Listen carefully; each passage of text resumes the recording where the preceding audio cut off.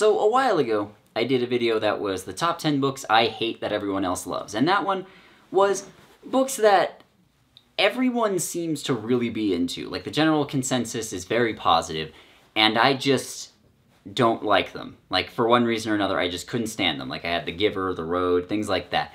And this one, as the title suggests, is going to be the other way around. These are books that I don't necessarily love. I'm not saying that there are no problems with any of these, but I do view most of them in a positive light. There is one entry on this list that I think is bad, but the general consensus for it is like way worse than I feel it should be. And that's basically all these. Like the general consensus for them is way more harsh and negative than I would have thought it should be, but you know, just I feel that there's more positive stuff to be said here. Because obviously this is always going to be subjective, it's always going to be a matter of opinion, and I'm not saying I don't understand why people don't like some of these, because again, like, I recognize the problems with a lot of them, and I'll go over those, but sometimes I just, I just don't care about the problems, or I look at them and say, yeah, that's not great, but why are you people so harsh on it? Because, I don't know, in this day and age, it seems like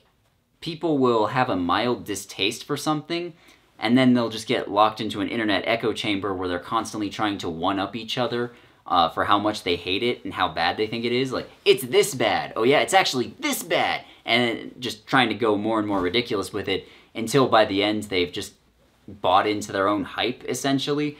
And so they genuinely hate it with a seething passion when before they just had a mild distaste for it. Like, I, that seems to happen a lot. And I don't see it getting better anytime soon, but whatever, that's not important. Uh, we're about to start now, and there will be spoilers for everything I mention here, so beware of that. Like, there, there's chapters here, you can just skip to the next one if you find something you don't want to get spoiled. This is the introduction song. It's not very good, but it's not too long. Starting off the list here at number 10, we're gonna have The Ballad of Songbirds and Snakes. This is the prequel to The Hunger Games, which the movie of it is coming out uh, later this year. Uh, maybe it'll be good, maybe it won't be. And this one is odd to me because I read it and I was a little disappointed for like the first third to half of the book because like I said, it's a prequel to The Hunger Games and I wanted it to be about like the origins of Panem, the original rebellion and the origins of the Hunger Games, but that's really not what it is. It's about uh, the origin of President Snow, the primary villain of the original series. And once I got over that this book was not what I wanted it to be, and I just took it for what it was trying to be, I realized, okay, what it, it's trying to do, it's doing extremely well. Like, upon hearing the setup for the story, you would probably just assume that, okay, it's gonna try and make President Snow out to be all sympathetic, and he'll be like, oh, I only became evil because my dad was mean to me. And at first, it does kind of seem that way. Like, it's like, oh, I suffered so much during the rebellion. Can you believe how much I suffered? It's not like they suffered, really. Like, they just started it for no reason. Uh, but then, as the story goes on, you realize, like, oh, no, okay, S Snow is just a psychopath. And especially once you get to the ending, you're like, oh, yeah, this dude was always just crazy. You know, he, he didn't slowly become crazy over the years of ruling or anything. Like, he's just always been entitled, and he has always wanted more than he has.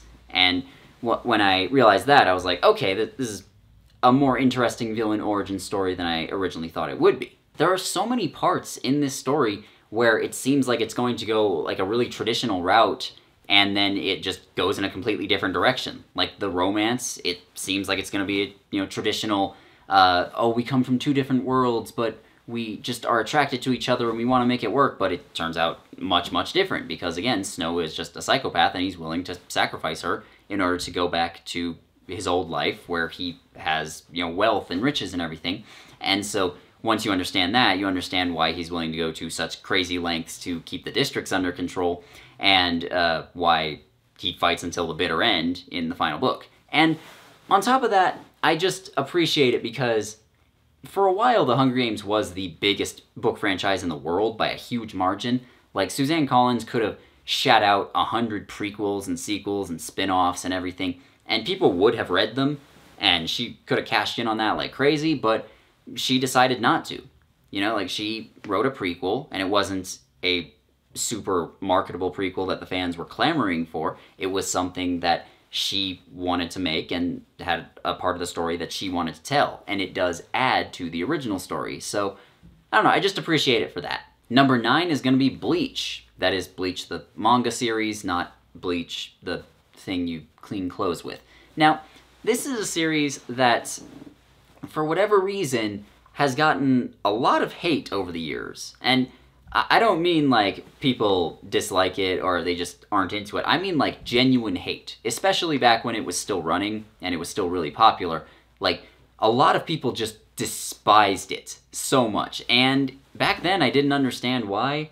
Now like again, I see there's problems with it, but I still don't understand why. Like it is at least on the surface a pretty standard shonen battle manga story, you know? You, have a main character who's a really young person who suddenly gets really crazy powers and then he goes off and fights bad guys with them and the bad guys just get more and more powerful so the heroes have to get more and more powerful to match them and by the end he, he's barely recognizable from what he was at the beginning and he's taken on gods and shit on the surface that does seem like very traditional shonen stuff and in a lot of ways bleach is i'm not trying to say it's like completely subversive or completely different or anything, but it is different in some key ways. Like, for example, the main character Ichigo is not a kid like a lot of them are, or at least a lot of them were at the time that the series was written, because some of this doesn't seem quite as innovative now, because uh, it's like 20 years later. But still, uh, Ichigo's not a kid, he's a teenager, and he's not like super energetic and optimistic and just wanting to go off and like be a Pokemon master or whatever. Like he's surly. And at the beginning, it seems almost like he's uh, forced into his role as a Shinigami, and he's forced to go around and help save people. And it's really satisfying to watch him grow from somebody who has this responsibility thrust upon him and looks for any excuse to get rid of it into somebody that accepts it and just decides, yeah, he wants to do his part to help save the world. And that's great. Uh, on top of that, the artwork is just fantastic. Like, again, this is, this is a manga series, so I have to talk about the artwork. Or, well, I guess I don't have to, but whatever. The artwork is fantastic because they say a picture is worth a thousand words. In Bleach, a lot of them are worth like three or four thousand.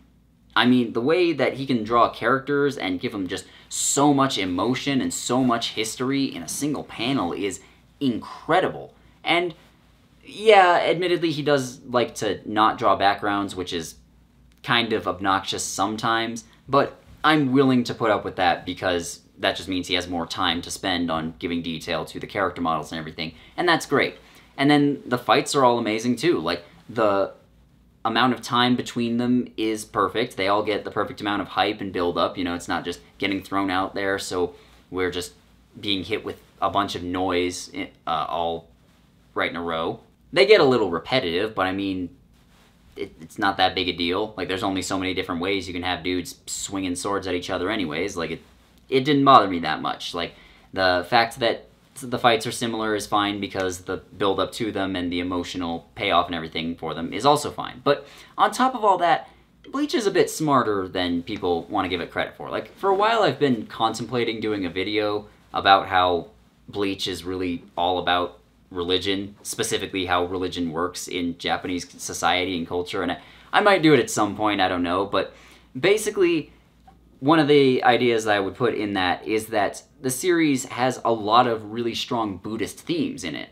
Like, the idea of balance is a huge part of the story. Like, it's not about killing the bad guys in a lot of cases, it's about finding a way to coexist with them, which oftentimes means like killing the leaders of the bad guys and everything. But it doesn't mean subsuming and destroying and taking over uh, other groups. Like, and this is all represented in the character of Ichigo himself, because at the beginning he's a human, and then he has his Shinigami powers thrust upon him. And at first he doesn't want them; he tries to get rid of them, but no matter how hard he tries, he just can't get rid of this. It's a part of him, whether he likes it or not. And it's only once uh, Rukia gets taken to the Soul Society and he has to go and rescue her that he finally accepts these powers and realizes, okay, I, I need to accept this part of myself in order to save my friend, and he unlocks his Zanpakuto and achieves his true potential. Like, uh, he's not giving up his humanity, he's just merging his Shinigami powers with his human side. and so they achieve balance. And then later on, he finds out, okay, he also has hollow powers. And at first, he tries to subsume that part and destroy it and cast it out, and that doesn't work.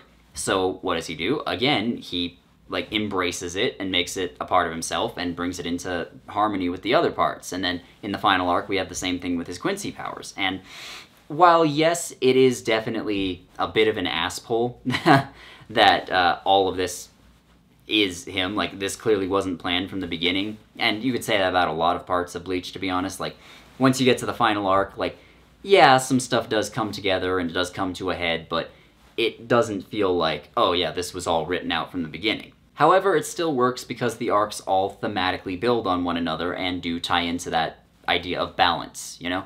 And even on top of that, uh, I do kind of like how a lot of the world building is not overly explained. Like, it's just kind of hinted at, and a lot of the characters don't understand it that much, so it gives you the sense that this world is much bigger and deeper than we see on the surface. It's just, it's just enjoyable.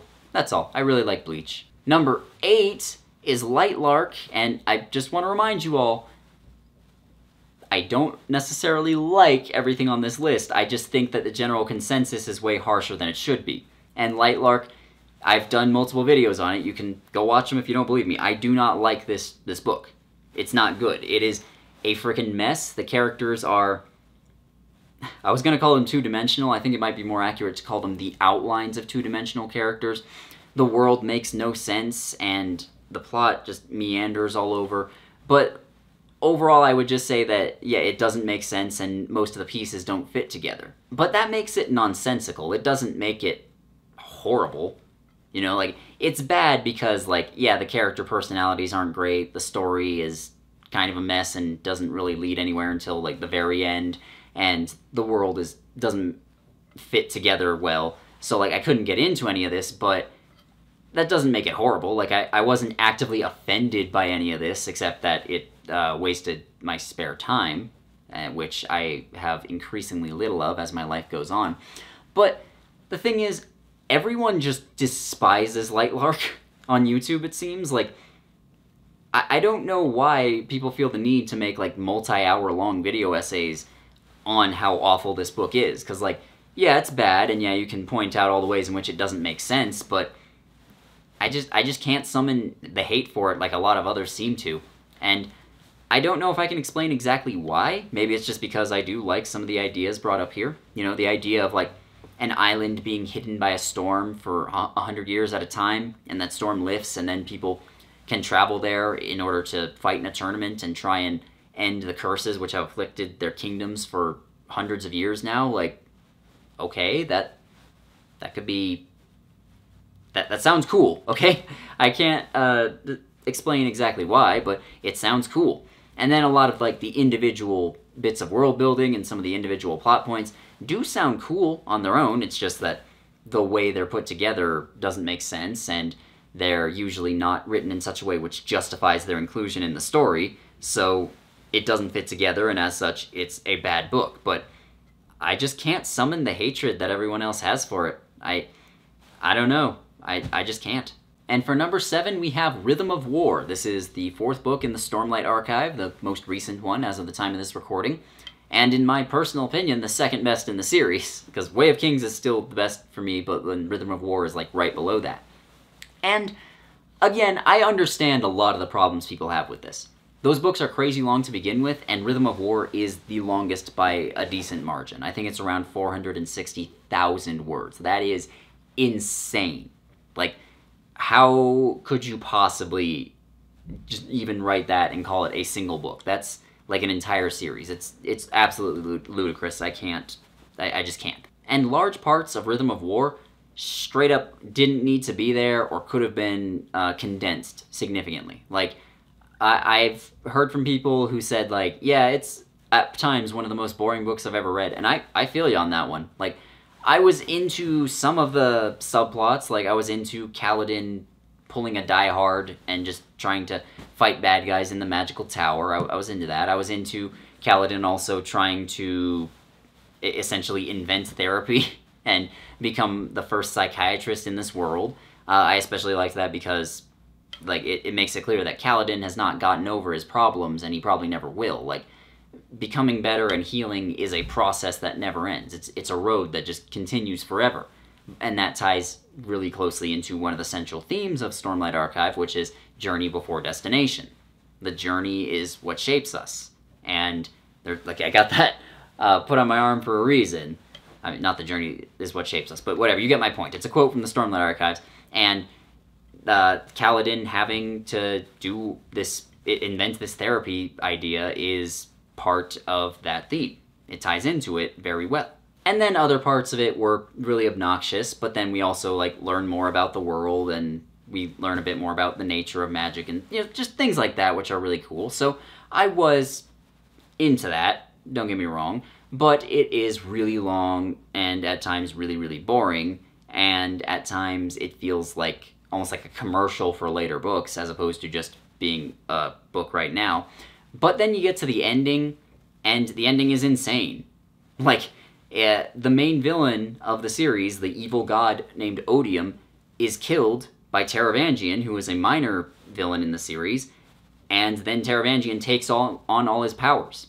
And Taravangian is far uh, smarter than Odium, and also seems to have a lot more self control than Odium ever did. And so he's way more dangerous. Like we see in the epilogue, he's the first person to ever outsmart Hoid. Like Hoid has been 10 steps ahead of everybody else throughout the entire Cosmere, including in the Stormlight Archive, and at the end, Hoid, or excuse me, at the end, he gets outsmarted by Taravangian. And, I mean, I, I can't help it, that just caught me so off guard. Like, Taravangian stabs him with the magic sword and then takes on his powers, and it makes total sense. Like, it's not the first time in the Cosmere that somebody has taken on the power of a shard after killing their host. Like, I'm sorry if you don't understand what I mean by that, but I just, I do not have the time to go over a lot of Cosmere lore in this video. We just, we just can't. But the point is, like, it makes sense.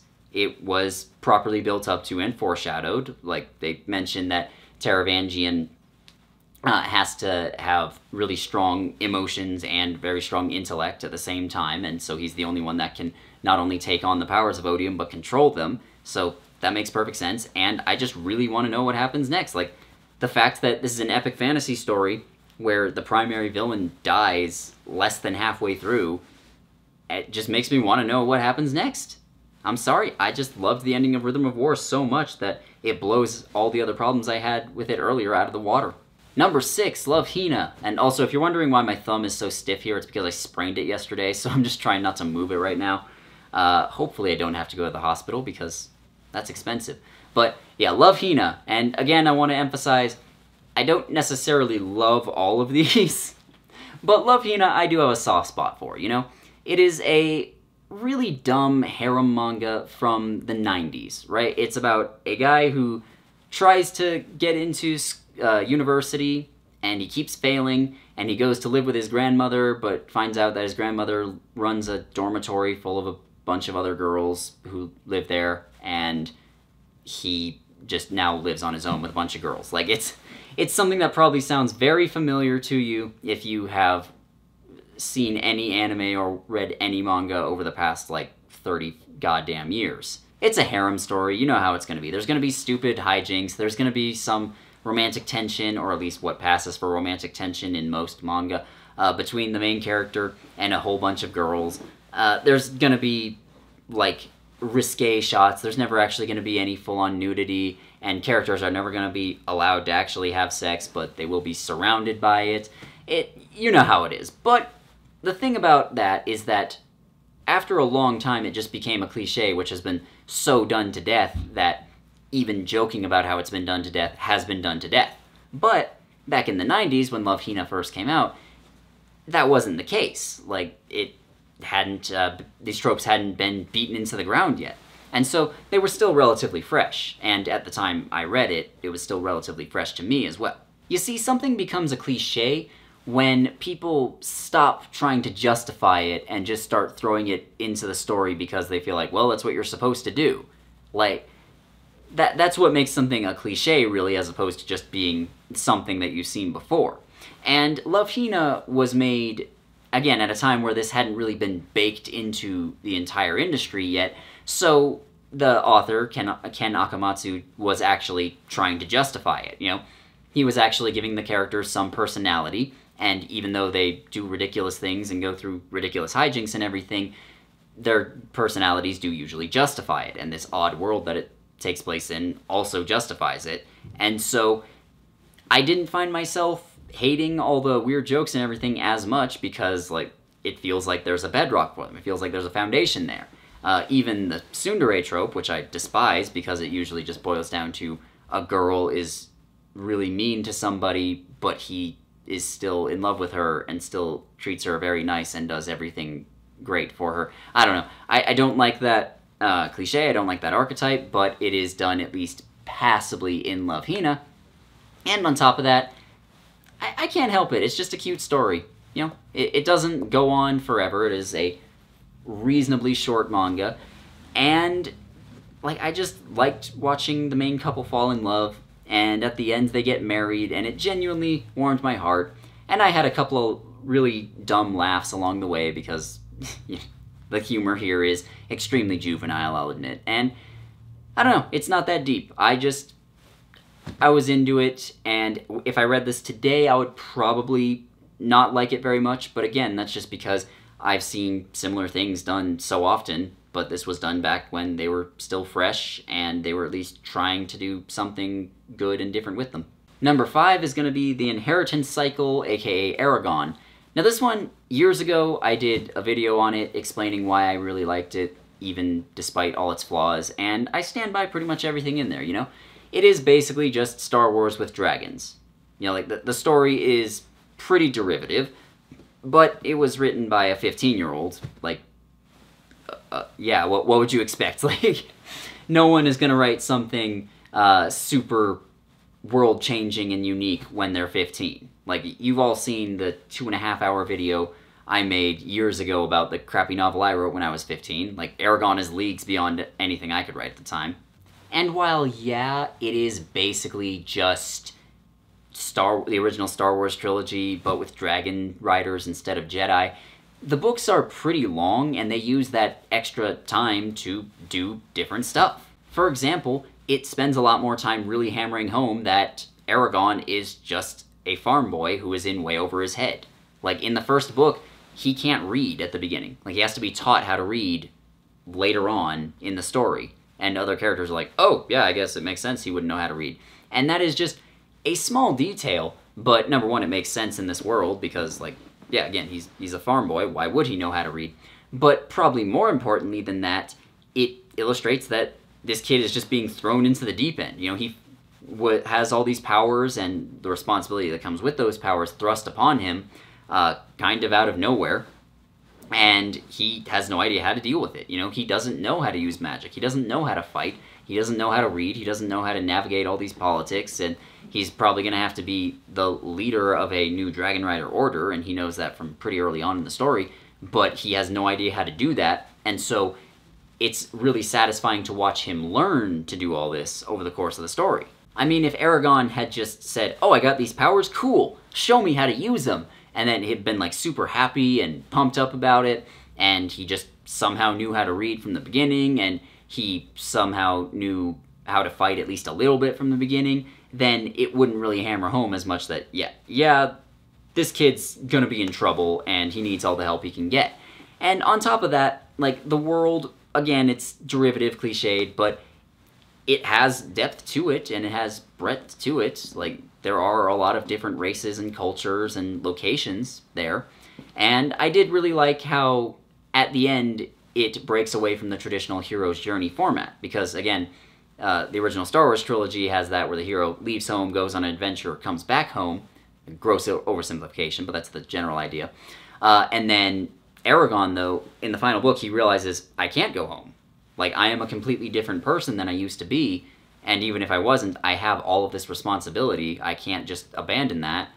So I, I am not that farm boy anymore. And at the end, he leaves home forever.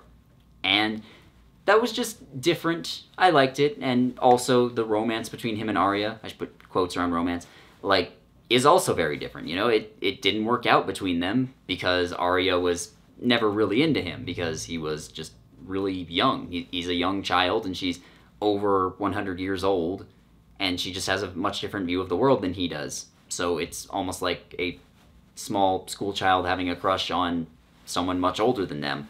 And on top of all of that, I just really liked that Eragon got me into fantasy. You know, like if I hadn't read this, I don't know if I would have read a lot of other stuff that I've loved over the years. So for that reason, I just love it. Number four is another series of books that I have made a video defending in the past, sort of. Uh, and this is The Mortal Instruments. Now, this one, uh, again, I made a video on it, but that one I just concluded that The Mortal Instruments is fine. And I'm talking about the original trilogy there, which is City of Bones, City of Ashes, and City of Glass. Uh, I am not referring to the 18 shit gazillion prequels and spin offs and sequels that Cassandra Clare has written, because in contrast to Suzanne Collins, who wrote The Hunger Games and just kind of left it at that because she didn't feel the story needed more, Cassandra Clare saw dollar signs and just decided to keep pumping out more and more. And I believe she's still writing more today. And I mean, I guess if people are buying them, then sure, more power to you. But uh, it, it just really detracts from the story when you have the original trilogy and like everything wraps up and they're like, oh no, actually there's more after that. There's a lot to complain about here. I hate Jace, the main love interest of the story. I I hate him. He is an asshole to everyone all the time for no reason. And the story treats that as like, oh, he's snarky because his dad was mean to him. You know, he has to have this harsh exterior in order to hide the sweet, sensitive soul that's inside, except they never show us the sweet, sensitive soul, so, you, you know, there's not a whole lot to, to like about him there. Uh, I did like some of the world building, like them uh, you know, putting runes on their skin in order to give themselves power was kind of cool. Uh, the way that the different races, like vampires and werewolves and uh, shadow hunters, all coexisted was pretty cool as well. I, I liked some of that. Uh, I did like uh, the climax at the end where Clary confronts Valentine. Uh, but then at the same time, again, there's many more problems, like how they're supposed to be demon hunters, but they do very little demon hunting. Uh, the weird pseudo incest subplot is bizarre and not handled super well. The main romance isn't great, but at the same time, there's just there's genuinely stuff I liked here. You know, I I liked that uh, other characters also got to have romances, which were fairly well written. Uh, it wasn't just Jace and Clary being focused on all the time, like the other side characters and other members of the main cast also got to have their own little love stories, which were halfway decent. Uh, I did like some of the fighting and action bits. Like there wasn't a whole lot of them, but they were cool. Uh, I did like the villain Valentine, who there, there's not a lot to him, but he has some cool bits. Uh, and like I said, I like the climax of the series at the end where Clary manages to summon uh, the angel, whose name is escaping me right now, and just uses him to uh, take out her dad. Uh, I did like, again, I didn't like the pseudo incest plot line that was kind of weird, but I did genuinely feel bad for Jace and Clary because they think that they're siblings for a while and they still have this really strong attraction to one another and they're trying to fight against that and just like they're not sure how to deal with it. Like, I did feel bad for them, and I think that was the point. But I think the main reason I have a soft spot for the Mortal Instruments, even though so many other people have just hated on them for years, is that I've also seen a lot of other young adult fantasy over the years, and let me tell you, it can get so much worse. like, a, a, lot of young adult fantasy, like Throne of Glass and such, is just so soulless and so paint by numbers and so just not even trying that I look at something like Mortal Instruments, which has a lot of flaws and a lot of stupid bits and a lot of things that make me cringe but at the same time it does feel earnest enough that I just have to say, you know what, you were you were trying something there. And plus it, it has a pretty equal focus on romance and like the actual story. You know, it doesn't just have romance overtake everything, like again a lot of young adult fantasy does. So I I feel like I should hate Mortal Instruments more than I do, but honestly just comparing it to what it could be, I, I, I just don't. I think Mortal Instruments is fine. Number three is The Death Cure, and that is The Death Cure as in the final book in the Maze Runner series. And you could kind of put just the series as a whole on here, but the thing is, people will generally think the first two books are fine. And you know what? I'll defend both the books and the movies. They're pretty different from one another, but they are enjoyable in their own ways. But talking about the first two books, people will point out plenty of problems, which I agree with, like how the world building makes very little sense and the story doesn't have a great setup, even if like the events and the pacing and everything are pretty good and working towards the end goal is pretty good and the mystery in the first book is pretty good. Like people will point out problems, but then also point out the positives. So the overall consensus on the Maze Runner books is, yeah, they're they're all right. There's a couple people that really like them, a couple people that really hate them, but they just think, yeah, they're okay, except for the Death Cure, which a lot of people seem to hate, and I'm not sure why, because at the end, Thomas uh, realizes, along with some others, that they're not going to be able to make a cure for the flare virus, which is essentially a zombie virus, if you haven't read them or seen the movies. Uh, and all they can do is take the small percentage of people who are immune, take them somewhere far away so that they can escape the collapse of civilization, and then they just wait for the rest of the world to die, and then they can rebuild. And it's a bit of a downer ending, yeah. And I think that's part of why people don't like it. They just don't like downer endings. They prefer something happier, which, I mean, if you do, more power to you. Um, but I also think part of the reason people don't like it is because they were mistakenly thinking that Thomas, the main character, was working towards making a cure, and then he doesn't do it at the end. But Thomas wasn't. Like, the villains were working towards making a cure, and they were torturing all the characters in order to do so. And Thomas was just trying to save himself and his friends. And in fact, in the last book, he straight up comes out and says, I don't care if we have to let the entire world die. It is wrong to torture people like this. And that's you can disagree with that. I probably would if I that he was a real person, but you can't deny that that's a very strong uh, trait, let's say, for a main character to have. And going into the ways in which the movies are different than the books, like again, I do enjoy the movies, but I didn't like the ending of the last one quite as much because in the last movie, there is actually a cure that's made. Like it's made from Thomas's blood, but it's just it comes way too late and it doesn't uh, actually save anybody. Like Thomas gets the cure, but then he and the others have to go off to an island away from everybody else, and then they're still waiting out the death of humanity. And it, it seems to end kind of ambiguous, like, oh, maybe Thomas will go out and try to make more of the cure in order to save people, but, like, obviously there's nothing after that in the story, so we're not going to get more. And I feel like that kind of misses the point of the ending of the book, because th- there's a scene in the movie where he just really dramatically yells, There is no cure! And they, like, showed that in every fucking trailer before it came out. Uh, but the thing is, that was the point you know, in the book at least, that, that that was the point. There is no cure. No matter what they did, they weren't going to find a cure for the flare virus. Like sometimes things are broken and you can't fix them. All you can do is get out of the way. Like we, we all pay for the mistakes of others. We we pay for the mistakes of powerful people who live now. We pay for the mistakes of our loved ones who live now. We pay for the mistakes of our ancestors who died hundreds of years ago. Like we're still feeling the ramifications of some of that. And there's no avoiding that. Sometimes all you can do is get out of the way of the disaster. And like that is the message at the end of the death cure, or at least the one I took from it. And that's a very powerful one. So again, in addition to the ending catching me off guard because it really did, I just really liked that. It made me stop and think for a while. Number two is An Ember in the Ashes, and despite being number two on this list, I don't think I have a whole lot to say about this series. Like, it is overall good, I think. Like, I wouldn't say it's amazing, with the exception of the first book, which I do genuinely think is great. Uh, but overall, it's like, yeah, I, I enjoyed that. And I don't have a whole lot of justification why.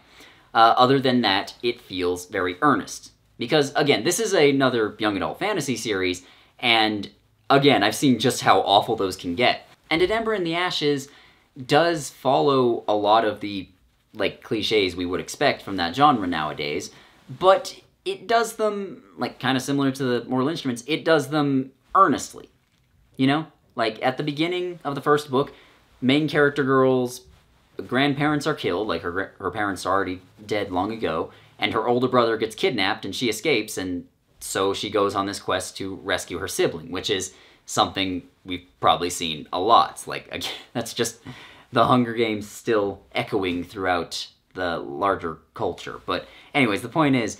Uh, she's going out to save her sibling, and she does that by being a spy in a place full of wealthy people, which is, again, something we've seen a lot, but hey, at least it feels earnest, you know? And that's the thing. Everything that happens in these books feels earnest. Like the characters don't feel like they're just meant to fill an archetype, they feel like a person who just happens to fit into that archetype and also breaks away from it in some small ways. Not not in big ways, but in small ways. Uh, the storyline and the world building as well also feel like yeah, they're they're following stuff we've seen before, but it does break out of it in some small ways, and there is justification for it. So like that's what I mean when I say it feels earnest at the end of the day. Uh, on top of that, it's not generic medieval European fantasy world. It is based much more on uh, Middle Eastern mythology and folklore, which is you know, a, a little bit different at the very least. That's kind of cool. I did like that. But probably the number one thing which really made me actually get into the series and care about what was happening is that it doesn't half-ass the fact that this is a very dangerous, deadly situation that the characters are in, and a lot of them are going to die. Like, it, it doesn't. There are a lot of books, especially ones aimed at younger audiences, where they try to act like things are super deadly dangerous, but then they will not have any characters die, or they'll have one, maybe two die near the end, uh, or they'll just have like one die at the very beginning to show, oh look, anyone can go, but then that everyone is just fine after that. You know what I mean? Uh, whereas Ember in the Ashes, people meet horrible fates throughout. You know, like the villains do not shy away from the fact that they're committing a genocide throughout half the series, and people are on the receiving end of that. And sometimes they get like heroic last stands where they get to be the heroes one last time before finally succumbing and then they manage to let their friends escape. Other times they just die and it doesn't really lead to anything. Like sometimes the villains just kill them to make a point. And uh, again, because these are actual characters that I was kind of into, I felt bad for them. And I also felt bad for the main characters who, like, these, they're losing their friends and loved ones. So it doesn't half-ass it, you know? It doesn't uh, pretend to be dark and gritty and then act all lighthearted and sweet like Throne of Glass often did. It is just kind of a dark story at times. Or I say kind of. Again, there's a genocide here. Uh, like, it is a dark story, and it doesn't shy away from that, but at the same time, it doesn't revel in being dark and gritty. It is just characters trying to find light in the darkness. You know, that that's uh, where the title of the series comes from. It's an ember in the ashes. Like, it's all dark, but there is one little spark of hope which you can use to start a fire. And the number one book that I love that everyone else seems to hate is The Dinosaur Lords. I've mentioned this multiple times. Like, I read this series a little over a year ago, and I've brought it up several times since then because it's a it's a great series. It unfortunately it's only half of a series really because the author wrote three books and then died before he could write the next three because he planned for there to be six, and that is very unfortunate. But the first three are just so great that I don't care that much. You know, it is as the title suggests, it's about knights who ride dinosaurs and fight each other, and they also fight evil angels who bring down hordes of undead. Well, not exactly undead, but we'll get to that in a minute. Uh, and religious fanatics to just exterminate all of humanity. And that's awesome. I can't help it. That's just awesome. It actually surprised me after I finished reading this series and I looked at other reviews of it online to see that people didn't seem to like this one that much. It got pretty mixed reviews, and it never really took off in terms of popularity either, which is, I think, the main reason why we're not seeing the rest of them. Like, you know, they could hire somebody to finish off the series, but that's just not going to happen uh, because it's not that popular. It's not going to make much money. But it's just, it's so good. like, one thing I really appreciate about it, in addition to just having a bunch of cool shit, because, again, it's knights riding dinosaurs. What's not to like about that? One of the main villains is a knight who rides an albino T-Rex named Snowflake into battle. well, that that just makes my inner ten year old go, "Oh yeah, it's so cool."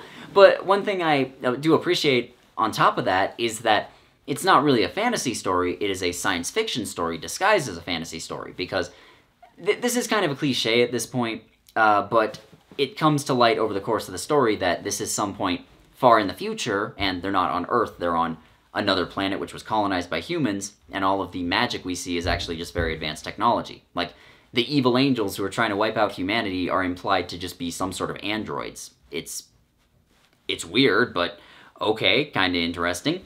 And it's it, it works better than a lot of other things that try to do this because normally it's like a big twist near the end of the story where it's like, "Oh my gosh, it's science fiction. It was Earth all along. What? That's crazy." But it's usually even if it's foreshadowed, it winds up detracting from a lot of the story.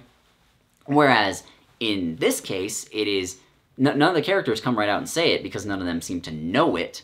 It is just hinted at from the beginning, and if you pay attention, you can figure it out yourself and go, "Oh, okay, that that makes sense." But why is the world like this? And instead, it just opens a mystery, and that mystery is part of why I wanted to keep reading. And unfortunately, we never got it, you know, revealed. But still, it's cool. All of the fights and battles in here are just fantastic, especially the giant battle at the end of book two. That's just straight up one of the best I've ever read. And if we just count like battles in epic fantasy, that would have to be easily top three, I think. like, there's not many others that would go above that. It, it is amazing. Uh, and part of the reason it's so amazing is because this series does like a different take on a zombie apocalypse formula for a while, which is not something you see often. Like, zombie apocalypse is something that has been done a lot. It, has been done to death. uh, but it, it's not something you see where uh, that has any real changes to it most of the time. It is usually stuff we've seen a hundred times over. But this was different because a gray angel comes down and starts a gray angel crusade, which is, you know, go out and kill a bunch of sinners. And a lot of people join with him out of like genuine religious devotion. They're like, oh, yes, we have to go kill the sinners. We, we shall do that. Yes, of course. Uh, and then some people feel coerced into it, like, eh, I don't want to join, but there's an angry army that says join or die. I'll just join up with them and go along with them uh, which it's hard to blame them for doing that.